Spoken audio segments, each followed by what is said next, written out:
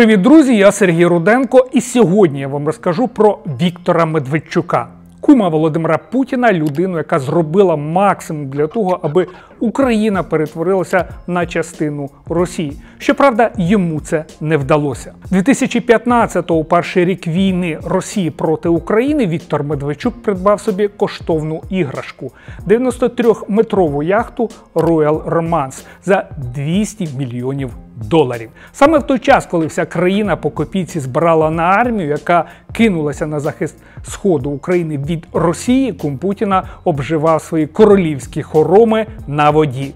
Номери для 14 гостей та 22 членів екіпажу, ліфт, басейн, два дизельні двигуни по 3 тисячі кінських сил кожен та водні резервуари на 55 тисяч 200 літрів прісної води. Розкішна яхта мала очевидно засвідчити статус Медведчука, члена родини Путіна і його смотрящого в Україні. Усе своє свідоме життя Медведчук намагався довести власну винятковість і вищість над тими, хто його оточував. А відтак купував собі дорогі автомобілі, помешкання, діаманти, потрібних людей і так далі. і так далі.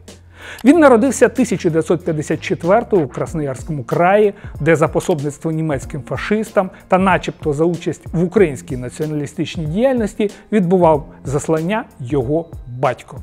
Змалечко Віктор усім доводив, що він не син ворога народу, а людина, яка заслуговує на набагато більше, аніж місце в бараку в далекому красноярському селі Почет. Медведчук прагнув забути своє голодне і холодне дитинство в далекому Красноярському краї.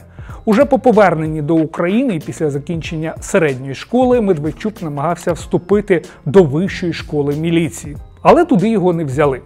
За радянських часів пильно стежили за тим, аби у правоохоронні органи не потрапляли діти зрадників.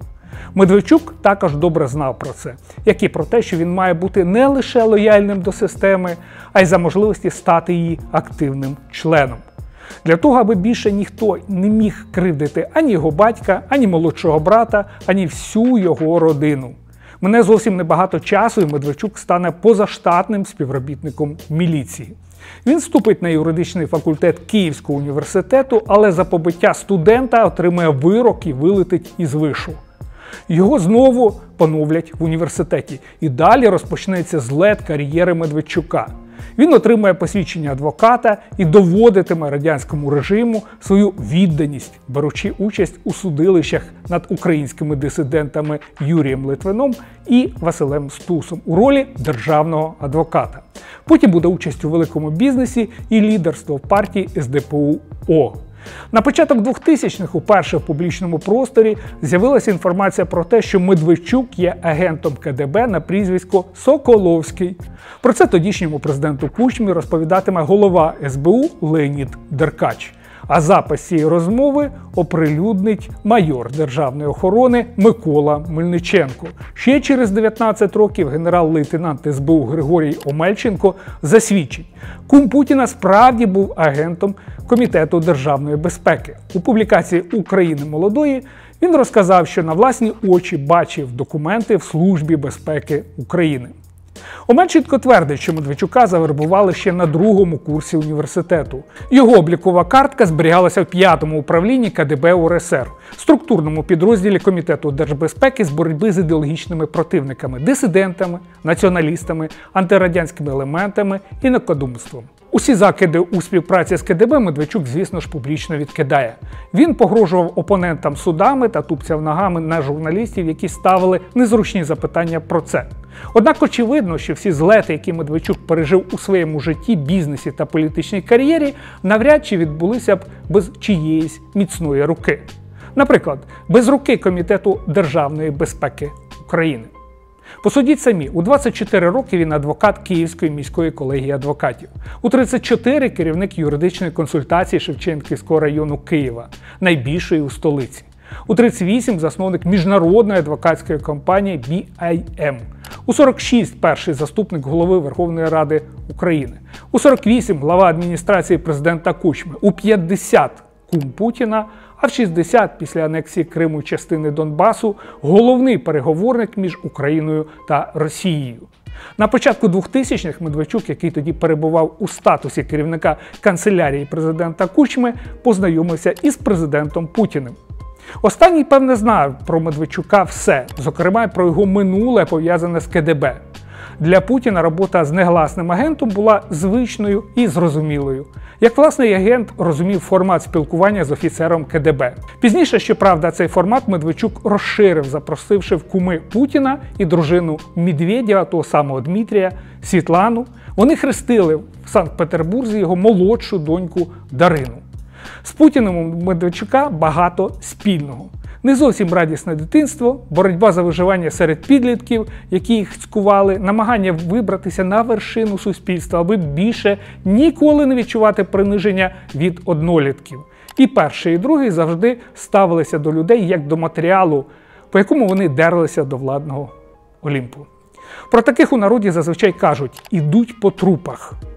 Тільки Путін і Медведчук роблять це в буквальному розумінні цього слова. Уже починаючи з 2004-го, Медведчук почувався намісником Бога, точніше, намісником Путіна в Україні.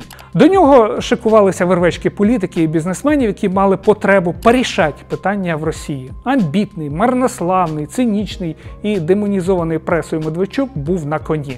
Так було за часів президентства Ющенка і Януковича, так продовжувалося і за президента Порошенка.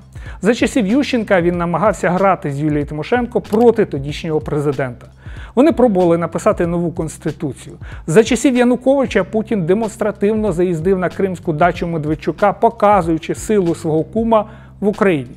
Чого варті лише 54 дзвінки президента Януковича Медведчуку під час гарячих днів на Майдані в лютому 2014-го.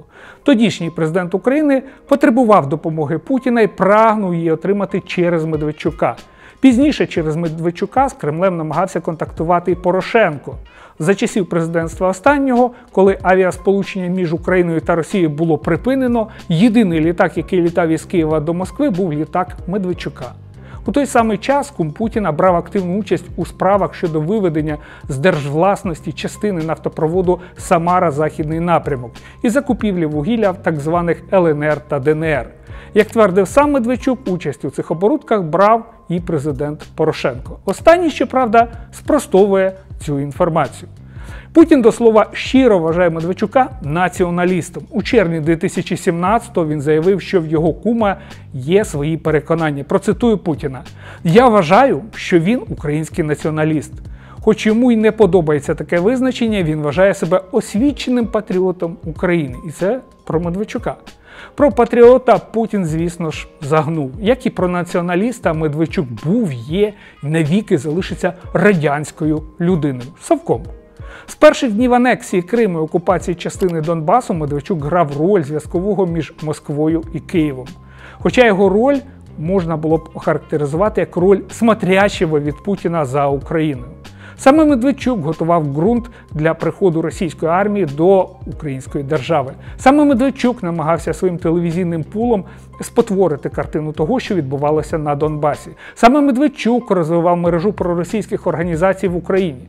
Саме Медведчук заперечував факт агресії Путіна проти України. 3 лютого 2021-го кум Путіна вперше отримав піддих від президента Зеленського. Три проросійські телеканали 112 News One і ЗІК, які контролював Медведчук, були вимкнуті з цифрового мультиплекса і кабельних мереж України. РНБО запровадило персональні санкції проти дружини Медведчука, відомої телеведучої Оксани Марченко та бізнес-партнера Медведчука Тараса Козака, який де Юре володів телеканалами. Ці двоє подавали війну на Донбасі як громадянську і відпрацьовували інформаційний порядок денний, визначений Кремлем. Закриття трьох телеканалів обурило і Путіна, ба більше випад на адресу Медведчука він сприйняв як особисту образу. Це його розлютило не менше, аніж кричалка харківських футбольних фанатів Путін хуйло. Господар Кремля був роздратований діями Зеленського. Останній не зважав на реакцію Москви. За кілька місяців Київський суд оголосив Медведчуку підозру в державній зраді у сприянні діяльності терористичній організації та розграбуванні національних ресурсів в анексованому Криму. Медведчук опинився під домашнім арештом із електронним браслетом на нозі. З цим самим браслетом кум Путіна й зустрів велику війну Росії проти України. Однак це не завадило йому на кілька місяців сховатися від СБУ. Упродовж лютого квітня 2022 ФСБ безуспішно намагалося відправити Медведчука до Росії, де вже перебували його діти з дружиною. Але кума Путіна впіймали українські спецслужби, і він сів до СІЗО.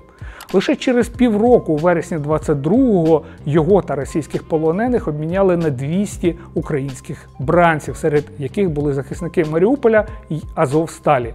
Путін змушений був наступити собі на горло, міняючи бійців полку Азов, яких у Росії вважали терористами, на свого кума. 11 січня 23-го року президент Зеленський позбавив Медведчука українського громадянства. Розкішну Медведчукову яхту Royal Romance заарештували в Хорватії. Під арешт потрапили все майно Медведчука в Україні. Партію, яку він будував, опозиційна платформа за життя, заборонили. Усі його соратники або втекли з України, або ж перейшли на бік нинішньої влади. Сьогодні від політичного альфа-самця, роль якого останні 30 років намагався грати в українській політиці Медведчук, не залишилося нічого. Хіба його хворобливе бажання повернутися до Києва на броні російського танку і стати на чолі України?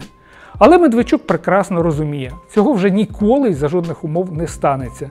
Він був, є і назавжди залишиться гвинтиком тієї радянської системи, яка намагалася розчавити українців і їхні прагнення бути незалежними від Росії. Тієї самої системи, спадкоємцем якої так прагне стати його кум Володимир Путін. Друзі, на цьому все. Дякую вам за увагу. Підписуйтесь на мій канал, ставте вподобайки, підтримуйте мій канал через функцію спонсорства. Все буде Україна!